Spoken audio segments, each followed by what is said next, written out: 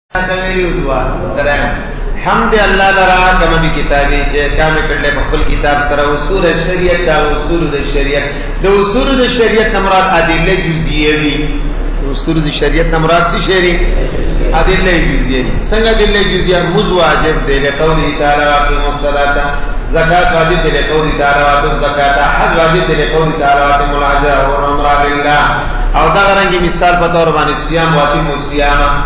نو دا ادله جزئیه دي چې واقع دي په دې احکاماتو باندې نو الحمدلله الذي حمد الله لرا چې احکام کړل په خپل کتاب مبارک سره اصول الشریعت الغرا اصول د شریعت احکام کړل لري دا ادله جزئیه د قران کریم را ټول ټول دي را هم کړی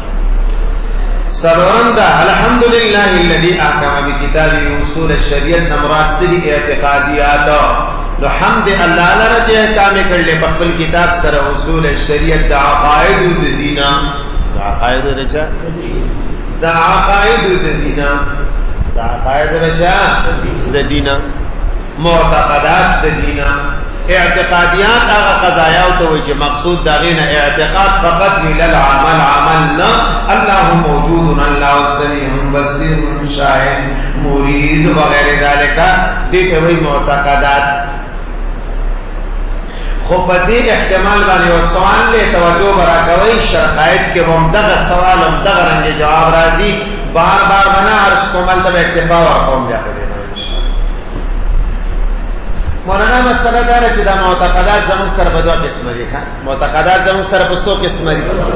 سني معتقدات د سيدي لکه رؤيت د الله تعالی حشر نشر معاد جسمانی یو دسه معتقدات دي دویم قسم معتقدات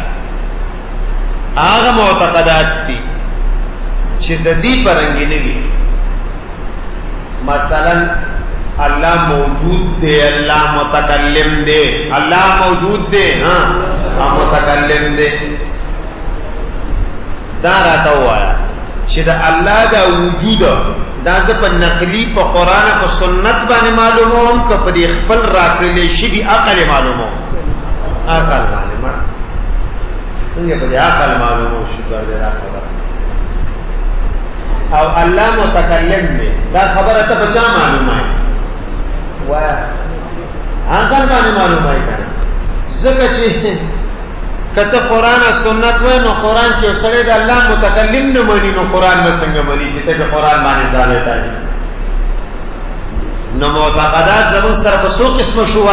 ویخ دینا ډاکټر صاحب اول معتقد کم یو دی هغه معتقدات دي چې هغه په دین سره قران سنت ثابت نه دي بلکې قران او سنت په هو ثابت دي لکه څوک وجود د الله او کلام د الله یو قسم هغه معتقدات دي چې هغه مانم چې هغه په چا ثابت دي په کتاب او سنت نو معتقدات زمون سره په څو قسمه شو په دوا یو هغه معتقدات دي هغه مخکې پرن خبره وکړه چې هغه مانم چې هغه ثابت دي په چا باندې په قران او سنت د رؤیت د الله تعالی او باس بعد الموت وغیر ذالک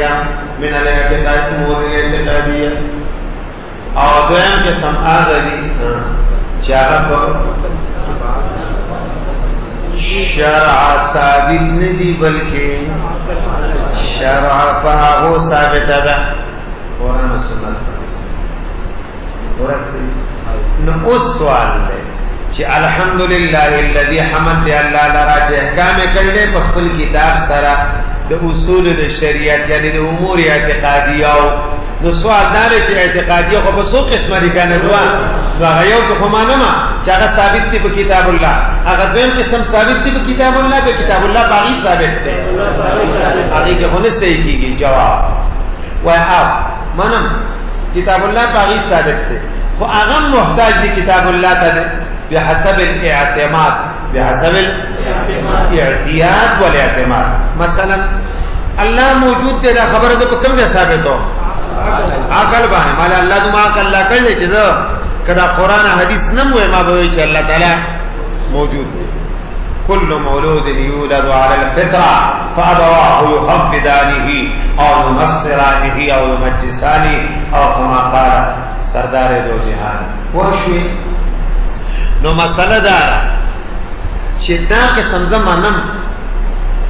دا په عقل ثابت او مټیک ده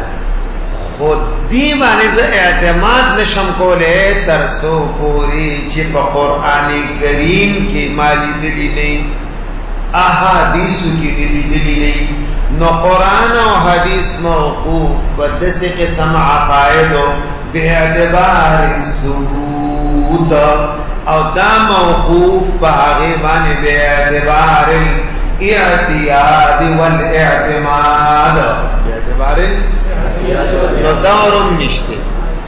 مولانا حاصل کلام کچھ یوں ہے کہ ہمارے جتنے بھی حکمات گزر چکے ہیں اور وہ اگرچہ مسلم نہ ہو وہ لوگ یا جو حکمہ مسلمانوں میں سے جو ہیں جتنے بھی گزر چکے ہیں انہوں نے بھی اپنے عقول کے ذریعے اپنے عقول کے ذریعے احکام کو ثابت کر چکے ہیں احکام نہیں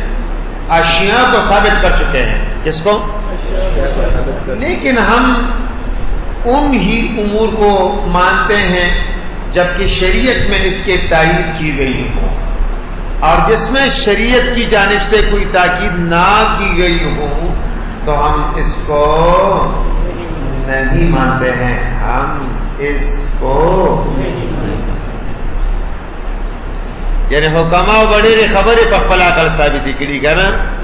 او خلق ثابتې خو شرع مؤید نه نو مونږ نه مانو دا رنګ زم الله موجود دی دا خبره ما په عقل ثابت کړه خو شرع مؤید ده شرع څه شی ده نو ټیک ته دې زنو کې ختم نه دې زنو کې خو دا کوم چې په شریعت ثابت دی هغه ختم معنی چې احکام به کتابي خدا کم چې ته نه مانې نو انته کې احکام په معنا د اثبات سره اگر کې نشته احکام په معنا د چا سره اگر که خو احکام په معنا د تایید او د اعتماد سره موقوف دی بچا باندې په شرع نو خبره درست شو خبره څه شو نو ما اصول شریعت کې څو مصداق ذکر کړتا وای سوی مستاقه جی سلور مستاقه اصول شریعت نه څوک مرادو محکمه وي ا قران بخپلا سنت اجماع اصول شریعت نه مراد ا مسائل کلیه اصول اصول فقه نه مراد اصول شریعت نه مراد ادله جزء اصول شریعت نه مراد هغه اعتقادیات څه شي په دې اعتقادیاتو باندې څه شوارد شو سوال دا سوال ما سو کو جواب چې زنو کې ختمه نه او په زنو کې ها توقف به طریق الاثبات اگر کړي او توقف به طریق لا ورفع بخطابه الله تعالی او چت کړي دی په خپل خطاب سره په خپل خطاب او چت کړي فروع الحنفیه فروع د حنفیه خطاب څه ته ویل کېږي دوه معناګانې توجیه الکلام نحو الغیر متوجه کول د کلام بل طرف ته دې ته ویل کېږي خطاب او بیا ما قاو به تخاطب وکمه خبره چې تخاطب واقع کیږي وکمه خبره چې سوا واقع کیږي تخاطب واقع کیږي نو بیا هغه توای بیا مثال په تور باندې مثال په تور باندې خلق وای وای ډیر بهترین خطاب وکړو نو خطاب ست وای توجیه الکلام نحو الغیر توجیه الکلام نحو الغیر خو بیا کمی خبرې چې کوي خلک هغه ته خطاب وای لکه زه خبرې کوم ته ډیر خسته خطاب کوي خطاب معنی توجیه الکلام نحو الغیر خو بیا چې کوم خبرې زه وکما ادا خطاب چې په کوم شی واقع شي چې درجه د مفعول لا درجه رچارا درجه رچارا د مفعول لا دا بیا اطلاق مفعولی اطلاق سره فروع الحنفیه دغه فروع د حنفیت د فروع په مستاق کې ما خبرې دي کوم چې د اصول په مستاق کې او دا معلومه کې به ادنا تنبیهنا فادنا تنبیه سره فادنا فهم سره معلومه کې انت موږ معتقدات غستیو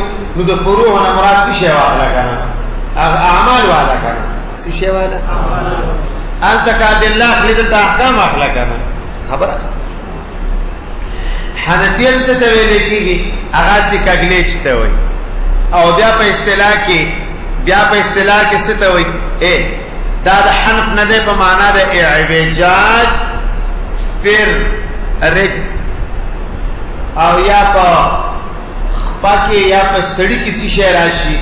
ترلیج او په اصطلاح کې څه ته ویل کېږي ها بیا دا مستعمليږي په مجرد میلان کې په مجرد چا کې میلان کې او بیا خاصه د حنیف هغه چاته و چې مایلی د باطل نه حق طرف ته لکه څنګه چې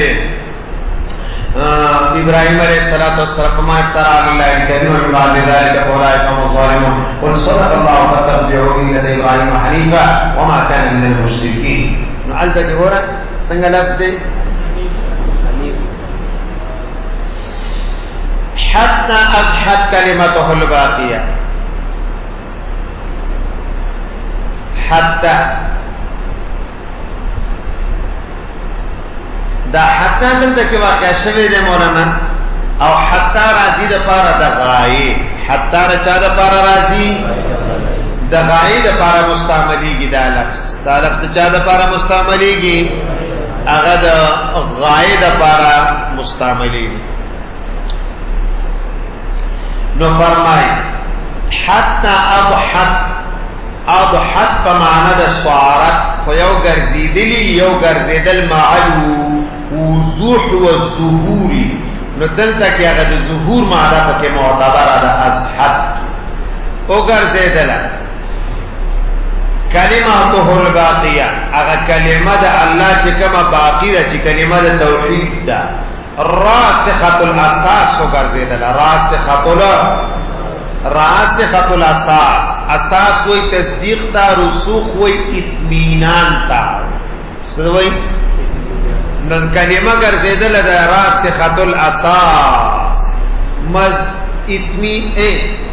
هغه تصدیق چې د اطمینان والا دی چې دا چا دی او شام خطل بنا ګرځیدل دا کلمه لول چت والا شومو شام لول بنا لول چت پوښښ کنه لوړ لوړ بنا او لوړ سشه هغه شرط واړه مولانا دلته دوه خبرو ته ګوره یو د حتی د انتها د غاید مخکې احکامه نو دا مغیره احکامه رفع دا مغیره او اضحت کلمته الباقی دای غایه ده دای سی شه ده اغا مخک مغایه ده او دای سی شه ده اغا غایه ده خدا احکام او رفع په مغایه کې په اعتبار د نفس الامر سره ده او دا ترتب د رسوخ او د شموخ دا به حسب علمنا ده دا به حسب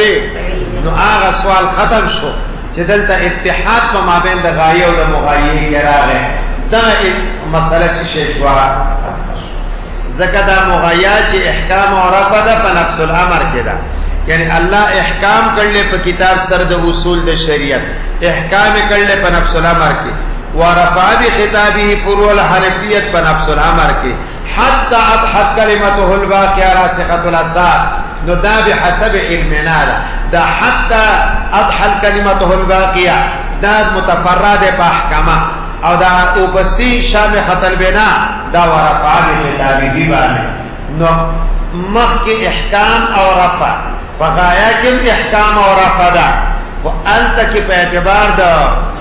نفس الامر او دلته به اعتبار علمنا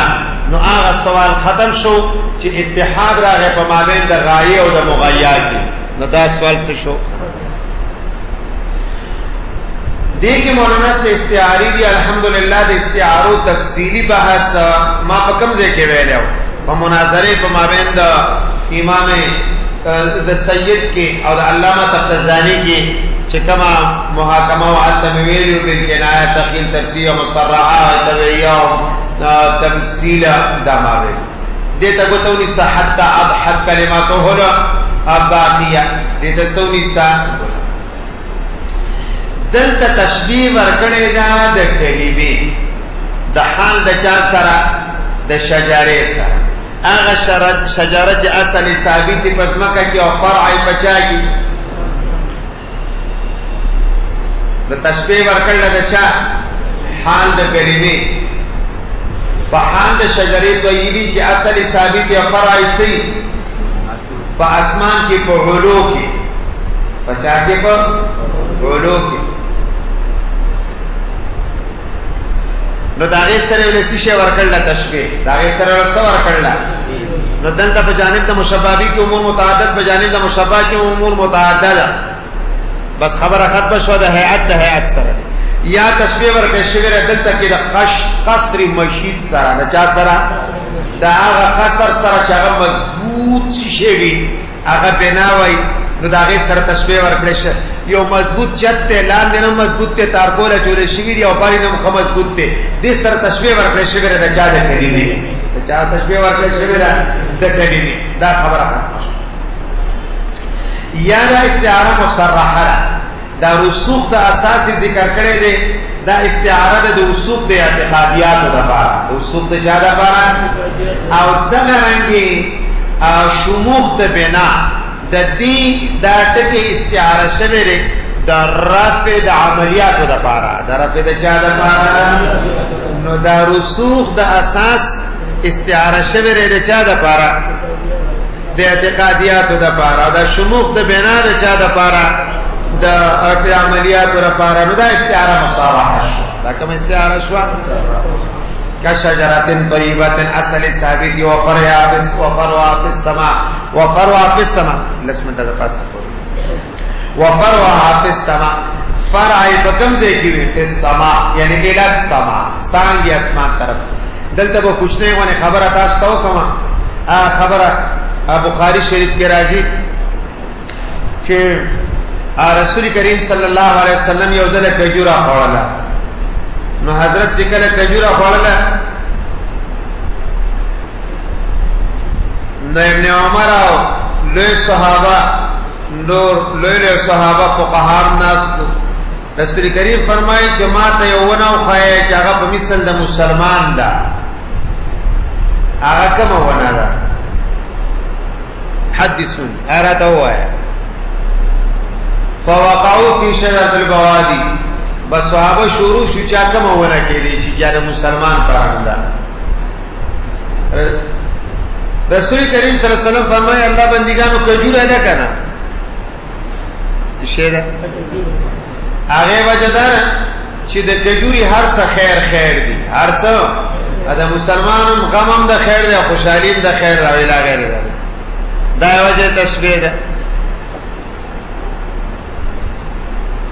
ابن عمر د خپل پلار حضرت عمر سره روان وی پلار او الله ما ته پتا وا پتا سن حیا رات له خلق ناس فی الله بنده وی دی بده وی کړ تاولی نه او بیا بخاری کې دیم ذکر راځي وې کتابې دې مې مال چې سرو خان د عربو چا را کولې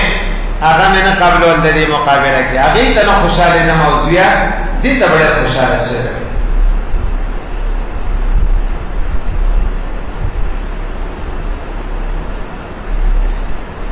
د دې زمون محدثین کرام فواید ذکر کوي د دې حدیث یو خبره دا ذکر کوي دینه پته ولګېدل چې استاد د شاګرد نه امتحان اغستې شي رسول الله امتحان واغست شاګردانو دینه دینو مان اختبار او امتحان اغستل حق دی په مدرسه کې جائز دی دویم ته نه دا معلومه شو چې رسول الله وی حدیثونی پته ولګېدل دا حدث صغیر رسول الله ذکر کړل حدثني فلان عن فلان عن فلان دسې صيغه رسول الله ذکر کړي دا اگر کاغره تکلم ده او حدیث دی دا د معلوماتو سو مسله معلومه دوا درېمه مسله ته دا معلومي چې ادب کشران لا د مشران ادب پکار دی سلورم ته دا معلومیږي چې که پکاري خو علمي ځای کې پکار دار چې پکار دار چې بیا خبره وکړي پنځمه خبره ته دا معلومه شو چې پلان په دې باندې بل خصوص علمي حواله سره ډېر خوشالي پکار ده لکه دلته پلار چې زوی باندې دومره خوشالي د دې نه دا خبره شپږمه معلومه شوه چې ابن عمر خان ښه ذهین سړی و د دې نه اومه خبره دا معلومه شوه چې مو شرح قتل جایز کتاب مطالعه پکار ځکه چې ابن عمر د سره معلومه کړه چې دا کجوره ده د پیغمبر د کجوري خبره کوله راټیم کې کجوره خواړه او بیا وی یو بوټی دی او په ځنګل کې خو غون من ترشنا نشته هم دا دی کنه نو د دې نه شیخ شیخ الحدیث سی وای حافظ زکریا رحم الله وې دې نه پدا پته لګي چې دا پکار دی دا کو بنشوي ورسې دي دا مې راته فقه د حدیث وویل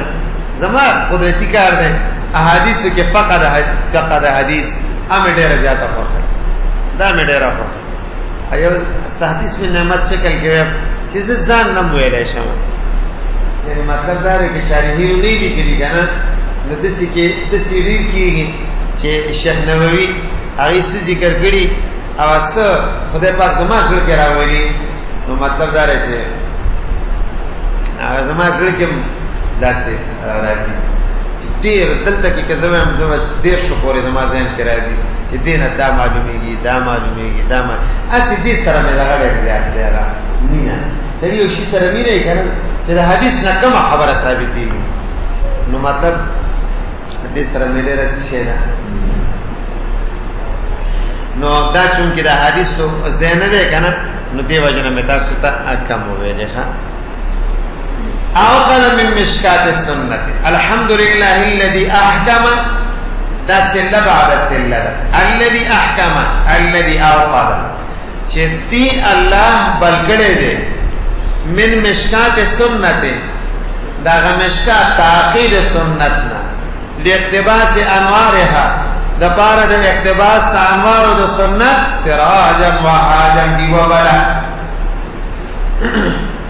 دلته تشریح د مفردات او قد یوقد ایقاع تاسو معلومه ده چې چاته وی بلوالی ته دا استعاره د دلته کې کستا فکری دا استعاره تبعیه ده کوم استعاره افعالو کې چې کوم استعاره غسې تبعیه مشکات ته سنت مشکات تاخچه ته وایي مشکات چاته ویل کېږي هغه قوی غیر نافذه ده او دا لفظ دلته کې مستعار دی د رسول الله صلی الله علیه وسلم سینې د پاره یا د خپل د پاره ذکر د مشبہ به او ترتجا مشبہ نو ګوره دا مستعار دی د فم د چا د پاره د رسول الله او سنت سنت څه ته یو حدیث قول د رسول الله فعل د رسول الله اقوال د اقوال د رسول الله افعال د رسول الله تقریرات د رسول الله احوال د رسول الله اقوال جمع د قول نه انما الاعمال بالنیات افعال جمع د فعل نه صلو کما رایتمونی وصلی تقریر څه ویل کیږي تقریر ویل کیږي تر کو انکار چې د حضرت وړاندې او کار کیږي او حضرت انکار کوي لکه د رسول الله په درستخان باندې دوه خور لشه خالد بن ولید خور پیغمبر خلیته لګي دغه نیولې او ساده او وې نه وې چې مخورا یا رسول کریم فرمایي لا تصلوا مس صلاه راس الا فی بنی قریظه د مدنی او مدینه او دغه په منځ کې شپږ کیلومتره لار ده آل تک به کوي آلته مو مزل تر استوای آلته کې سره صحابه په لارو کې د حضرت مقصد تعجیل سره صحابه کرامو نه پیغمبر به دې ته ورسو حافظ ابن حجر وی اول به مراد رسول خموی فقها یو د محدثین دواړه دي پیغمبر ته چې بیا خاموش شو دې ته وی سبب د نبی صلی الله علیه وسلم احوال جمع د حال ده هغه دې ته ویل کېږي چې هغه امور غیر اختیاریه د پیغمبر ناس تا ولاړه وغیرہ کوم طریقې سره نو بس دا کیفیت د احوال د رسول الله لاقتباس انوارها انوار ویل کېږي رڼاګار وتا ذکر د مشبابه او ترک مشباب ذکر د انوارو امراتنا معناګانې ذکر د چاره انوار او مراد دې څه شي دي سراجن وهاجا ذکر دې ټي وي دې مراد دې الفاظ د سنت الفاظ د الفاظ دې ټي وي نه روانه رڼاګانې راځي کنه نو د الفاظ نه رڼاګانې راځي نو اوس راشه امر پر سره مطلب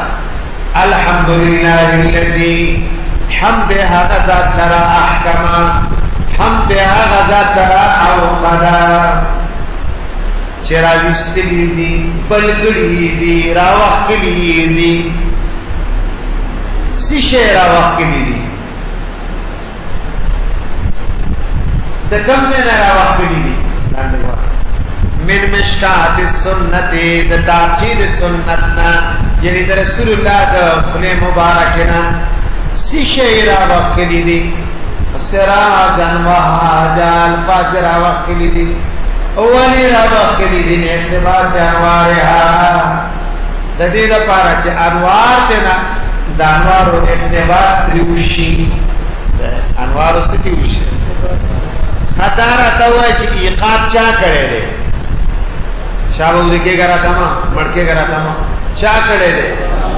الله کړی د کم ځای نه کړی دی د مشکات د سنت نه د سشي ایقا دې کړی دی اولی د الفاظو ایقا کړی دی د اقتباس انوارها د پاره د اقتباس انوار او د سنت معناګانې خو الفاظ نه راځي کیږي وصلی الله تبارک